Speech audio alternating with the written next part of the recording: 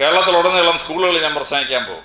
അവിടെ ഒരുപാട് സ്കൂളുകളിൽ നൂറിലേറെ കുട്ടികളുണ്ട്. ഞാൻ പറഞ്ഞു നൂറിലേറെ കുട്ടികൾ പഠിക്കാനുണ്ടെങ്കിൽ നിങ്ങൾ രജിസ്റ്റർ ഐ എസിൽ ലിങ്ക് ചെയ്യാൻ പറഞ്ഞു. ഞങ്ങൾ ഒരുപാട് സ്കൂളുകൾ രജിസ്റ്റർ കൊണ്ട് ലിങ്ക് ചെയ്തിട്ടുണ്ട്. ആ സ്കൂളുകളിലൊക്കെ അങ്ങോട്ട് പോയി കോച്ചിങ് നടത്തുക. ഇത് നിങ്ങൾക്ക് കിട്ടിയ ഒരു അസാമാന്യ ഭാഗ്യമാണ്. പത്ത് കൊല്ലത്തെ ഒരു കോച്ചിങ് നിങ്ങൾക്ക് കിട്ടുക എന്ന് പറഞ്ഞാൽ ഈ പ്രായം തൊട്ട് ഐ എ എസ് പരീക്ഷ എഴുതുന്ന ഒരു ഇരുപത്തിമൂന്ന് ഇരുപത്തിനാല് വയസ്സ് വരെ കോച്ചിങ് കിട്ടുന്നത് വലിയ ഭാഗ്യങ്ങളിൽ ഒന്നാണ്. പക്ഷേ നിങ്ങൾ കണ്ണും കാതും തുറന്നു വെച്ച് അറിവ് ശേഖരിക്കാൻ തയ്യാറായിരിക്കണം. പത്രം വായിക്കണം ടെലിവിഷൻ ന്യൂസ് കാണണം ഒരു ഇന്റർനാഷണൽ ന്യൂസ് രാത്രി ഒമ്പത് കാണണം. ബി ബി സി വേൾഡ് സർവീസോ സി എൻ എന്നോ അൽ ഒരു വേൾഡ് ചാനൽ കാണണം.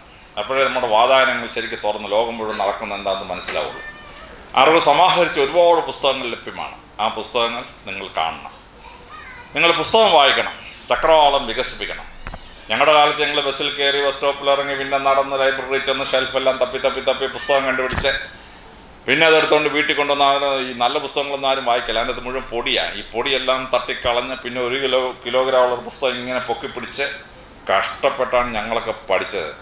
മുക്കാൽ മണിക്കൂർ കഴിയുമ്പോൾ കൈ കുഴപ്പം പുസ്തകം താത്തു വെച്ചിട്ട് അടുത്ത പുസ്തകം വായിക്കും. നിങ്ങൾക്കോ ഈ വല്ല ആവശ്യമുണ്ടോ? ഒരു കിണ്ടിൽ വാങ്ങിച്ചിട്ട് കണ്ണിന്റെ ലെവലിൽ അങ്ങോട്ട് ഫിറ്റ് ചെയ്തിട്ട് പുസ്തകം അങ്ങോട്ട് ഓർഡർ ചെയ്താൽ മതി.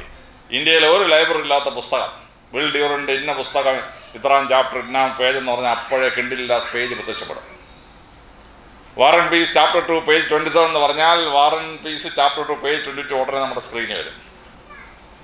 ബസ് ബസ്സിലും പോകണ്ട ലൈബ്രറിയിലും പോകണ്ട പുസ്തകം തപ്പണ്ട കൈ പുസ്തകം പിടിച്ച് കഷ്ടപ്പെടുകയും വേണ്ട. നമുക്ക് ആവശ്യമുള്ള പുസ്തകങ്ങളെല്ലാം വായിക്കാം. വിൽ ഡ്യൂറന്റിന്റെ വിശ്വപ്രസ്ഥാന പുസ്തകമുണ്ട്. The hundred great books of the world ഒരു മനുഷ്യൻ ഭൂമിയിൽ ജനിച്ചാൽ മരിക്കുന്നതിന് മുമ്പ് അവൻ ഈ നൂറ് പുസ്തകങ്ങൾ വായിച്ചില്ലെങ്കിൽ അവന്റെ ജീവിതം പാഴാണ് എന്നാണ് വിൽഡിയറിന്റെ പറയുന്നത്. അങ്ങനെയാണ് എത്ര പേരുടെ ജീവിതം പാഴായെന്ന് വേറെ കാര്യം എങ്കിലും അതിലൊരു തൊണ്ണൂറ് പുസ്തകം ഫ്രീയാണ് കിണ്ടിലിനകത്ത് ഫ്രീയാണ്. ഒരു പത്ത് പുസ്തകത്തിന് മാത്രം ചെറിയ പൈസ അടച്ചാൽ നിങ്ങൾ ആദ്യം ആ നൂറ് പുസ്തകങ്ങൾ വായിച്ച് തീർക്കണം കിണ്ടിലിനകത്ത്. കിണ്ടിലിന്റെ വേറൊരു ഗുണം. കുറേ വായിച്ചു കഴിഞ്ഞ് വായിക്കുന്ന ഇച്ചിരി ബുദ്ധിമുട്ടാന്ന് തോന്നിക്കഴിഞ്ഞാൽ മദാമയ്ക്ക് വായിക്കാൻ ഓർഡർ കൊടുത്താൽ മതി. മദാമ ഉടനെ വായന തുടങ്ങും. നിങ്ങളൊന്നുമല്ല മദാമ. സുഖമായിട്ട് അങ്ങോട്ട് വായിക്കും. അപ്പോൾ നിങ്ങൾക്ക് കുത്തിയിരുന്ന ആ പുസ്തകം വായിക്കുന്നത് കേട്ട് മനസ്സിലാക്കാം. വായനയുടെ കഷ്ടപ്പാടില്ല. രണ്ടാമത്തെ ഒരു ഗുണമുണ്ട്. ഈ മദാമ മിഡ്ലാൻഡ് ഇംഗ്ലീഷാണ് ആ പുസ്തകം വായിക്കുന്നത്. അപ്പോൾ ഇംഗ്ലീഷ് എങ്ങനെയാണ് ഉച്ചരിക്കേണ്ടത്? ഇംഗ്ലീഷ് എങ്ങനെയാണ് പറയേണ്ടത്? എന്ന് ഐ എസ് ഇന്റർവ്യൂവിന് ചെല്ലുമ്പോൾ പിടിച്ച് നിൽക്കത്തക്ക ഒരു ഇംഗ്ലീഷിന്റെ കമാൻഡ് ആ മദാമ ആ പുസ്തകം വായിക്കുമ്പോൾ കൈ കിട്ടും. അത് വലിയൊരു അഡ്വാന്റേജാണ്. വളരെ വലിയൊരു അഡ്വാന്റേജ്. പിന്നെ അറിവിന്റെ വാതായനങ്ങൾ തുറക്കാൻ എത്ര ഏരിയാസ് സർട്ടൺ ഗ്രൂപ്പിന്റെ സി ഡീസ് അവൈലബിളാണ് നിങ്ങൾക്ക് ഐ എസിന് പഠിക്കണോ ബി എക്ക് പഠിക്കണോ എം എക്ക് പഠിക്കണോ എന്താ പഠിക്കണോ എന്ന് വെച്ചാൽ ആ സിലബസ് അങ്ങോട്ട് കൊടുത്താൽ മതി. അതിന്റെ മുഴുവൻ സി ഡീസ് വാങ്ങിക്കാൻ കിട്ടിയില്ലെങ്കിൽ നമ്മുടെ സ്ക്രീനിൽ നമ്മുടെ ബെഡ്റൂമിൽ ഇരുന്ന് നമുക്ക് വായിക്കാം. ഈ മുഴുവൻ സിലബസ്. യു ജി സിയുടെ കൺട്രി വൈഡ് ക്ലാസ് റൂമുണ്ട് നിങ്ങൾ കോളേജിൽ പഠിക്കുന്ന വിഷയമോ ഐ എ എസിന് പഠിക്കേണ്ട വിഷയമോ അടിച്ചു കൊടുത്താൽ യു ജി സിയുടെ കൺട്രി വൈഡ് ക്ലാസ് റൂം നിങ്ങളുടെ സ്ക്രീനിൽ നിങ്ങളുടെ സ്റ്റഡി റൂമിൽ കാണാൻ പറ്റും ആ സാധനം. ഇന്ത്യയിലെ ഏറ്റവും ബെസ്റ്റ് ടീച്ചർ ക്ലാസ് എടുക്കുന്നത് നിങ്ങളുടെ സ്റ്റഡി റൂമിൽ ഇരുന്ന് കാണാം. ഇനി യു ജി സിയോട് നിങ്ങൾക്ക് കാസറ്റ് വേണോ? പറഞ്ഞു കൊടുത്താൽ അവർ കാസറ്റ് അയച്ചു തരും. ആ കാസറ്റ് ഇഷ്ടമുള്ള സമയത്ത് സി ഡി പ്ലെയറിലോട്ട് ഇട്ടിട്ട് സുഖമായിട്ടിരുന്ന് കേട്ടോണ്ടിരിക്കാം. E M R C Hyderabad ഉണ്ട്. Electronic media research centre Hyderabad. ഒരു എണ്ണായിരം സി ഡി ഉണ്ട് അവരുടെ കയ്യിൽ അങ്ങനെ ലോകത്തിന്റെ പല ഭാഗത്തു നിന്ന് അറിവ് കിട്ടും. ഇനി അറിവ് സെർച്ച് ചെയ്യണോ? ഞങ്ങളുടെ കാലത്ത് ഞങ്ങൾ പോയി ലൈബ്രറി തപ്പി അറിവുള്ള സാറന്മാരോട് തപ്പിയൊക്കെയാണ് അറിവ് നേടുന്നത്. ഇപ്പോഴോ? ഇതിന്റെ ഒന്നും ആവശ്യമില്ല. വിക്കിപീഡിയ ഉൾപ്പെടെ കുറേയേറെ എൻസൈക്ലോപ്പീഡിയ സി ഡിയിൽ അവൈലബിൾ ആണ്. പതിനാറ് വയസ്സുള്ള അവനെ കൊണ്ട് അപ്പൻ എന്റെ അടുത്ത് വന്ന് ഐ എ എസ് പഠിപ്പിക്കാനായിട്ട്. എന്നിട്ട് അപ്പനും അമ്മയും പറഞ്ഞ് പൊന്നു സോറ ഇവന് കമ്പ്യൂട്ടർ പ്രാന്ത ഇവന്റെ പ്രാന്ത് കാരണം ഒരു രക്ഷയില്ല ഇവന്റെ കമ്പ്യൂട്ടർ പ്രാന്തം കുറച്ച് തരാൻ പറഞ്ഞു. ഇപ്പോൾ അവൻ രക്ഷപ്പെട്ടത് ഈ കമ്പ്യൂട്ടർ പ്രാന്തിലാണ്. കഴിഞ്ഞ അപ്പുറത്തെ കൊല്ലം അവന്റെ ആസ്തി ഇരുന്നൂറ്റി അമ്പത് കോടിയാണ്. കഴിഞ്ഞ കൊല്ലം അവന്റെ ആസ്തി ആയിരത്തി മുന്നൂറ്റമ്പത് കോടിയാണ്. ഇരുപത്തിരണ്ട് വയസ്സുള്ള കുട്ടിയാണ് ഇപ്പോൾ സൂക്കർബർഗ് പറഞ്ഞിരിക്കുന്നു മുപ്പത്തഞ്ച് ഭാഷകളോട് തർജമ ചെയ്ത് കൊടുത്താൽ three thousand five hundred crores കൊടുക്കാമെന്ന് അങ്ങനെയാണ് ഈ കൊല്ലം തീരുമ്പോഴത്തേക്കും ഇരുപത്തിരണ്ട് വയസ്സുള്ള പയ്യന്റെ ആകെ ആസ്തി നാലായിരത്തി ഇരുന്നൂറ് കോടിക്ക് മേളിൽ പോകും.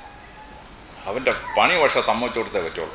നിങ്ങൾക്ക് ആർക്കെങ്കിലും ഐ എസിന് പഠിക്കണോ? ഏതെങ്കിലും കോഴ്സിന് പഠിക്കണോ?